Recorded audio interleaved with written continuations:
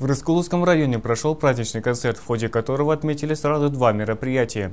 Помимо 20-летия столицы Астаны, в этом году исполняется 80 лет со дня образования Рыскуловского района. В этой связи в районе состоялось праздничное мероприятие, которое прошло в рамках концепции Ельджирега Астана. По словам Булата Бекжана, все эти проводимые мероприятия оказывают весомую поддержку культуре.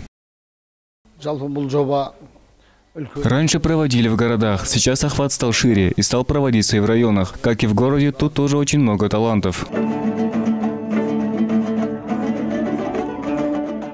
В ходе праздничного концерта культуры и искусства были исполнены различные песни. Районная молодежь развлекалась за игрой в алтубакан. Поэты и термиши исполнили зрителям свои кии. Также в целях пропаганды национальных музыкальных инструментов состоялась домбра-пати, в ходе которого были исполнены песни про Астану.